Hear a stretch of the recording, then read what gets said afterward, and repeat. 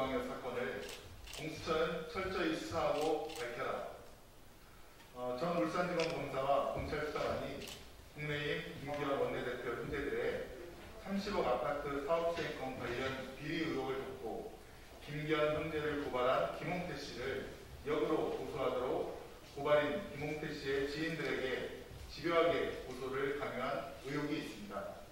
검찰 수사관은 고발인 김홍태 씨와 가까웠던 현대자동차 소속 젊은 노동자에게 본인이 김홍태 씨에게 피해를 입었다고 주장하지 않으면 인터넷에 올린 글에 대해 정보통신망법으로 처벌되어 회사에서 해고사유가 될 수 없다며 시킨 대로 고소하지 않으면 직장에서 쫓겨나도록 하겠다는 의미로 협박을 하고 적극 협조하면 처벌 수위를 낮춰주겠다며 의무가 아닌 일을 하도록 강요하였습니다. 검찰이 공권력을 이용하여 정의롭지 못한 일을 하도록 강요한 것입니다. 이 노동자는 검찰의 협박과 고소 강요로 결국 탄원서를 적게 되고 그로 인해 구속을 당한 지인 김웅태 씨에게 전화를 걸어 저 때문에 모든 게 다 잘못된 것 같습니다.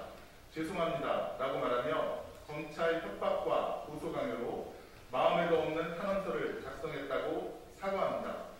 그 뒤로 이 노동자는 검찰의 강압사 등에 의한 정신적, 심리적 괴로움으로 결국 극단적인 선택을 합니다.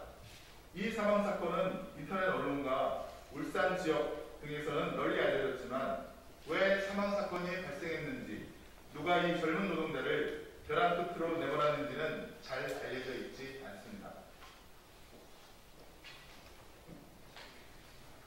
한 가정의 아버지이자 남편인 이 노동자의 죽음에는 전 울산지검 검사와 이 검사의 지휘를 받은 검찰 수사관의 집요한 고소 강요가 있었고 삶의 벼랑 끝에 선 젊은 노동자를 절벽으로 밀어버리는 상황이 확인됩니다.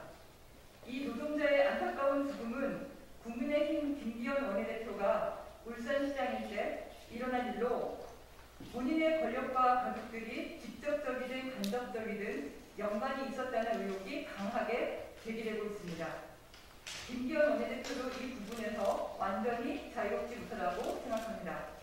이 젊은 노동자의 사망 사건에 대해서 국민의힘 김기현 원내대표의 책임 있는 답변이 필요합니다.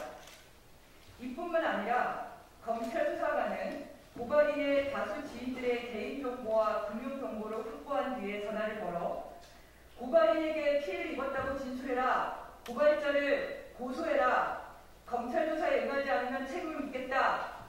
등의 내용으로 지인들을 협박했고 고소를 강요하는 등 고발인의 지인들에게 의무에 없는 일을 하도록 하였습니다. 특히 검찰 수사관은 강모 씨에게 전화를 걸어서 마모 씨에게 고발인 김은태 씨에 대한 고소를 종용하여 고소가 진행됐다며 강모 씨, 당신도 고발인을 고소하라 등 검찰 수사관의 직권을 남용하여 의무가 없는 일을 하도록 강요했습니다. 당시 울산은 고래고기 황부 사건으로 검찰과 경찰의 갈등이 심한 상태였습니다. 검찰은 오히려 보복성 수사를 통해서 국민의힘 원내대표 형제들 고발 사건을 무마시키고 고발인의 지인들에게 탄원서를 받아서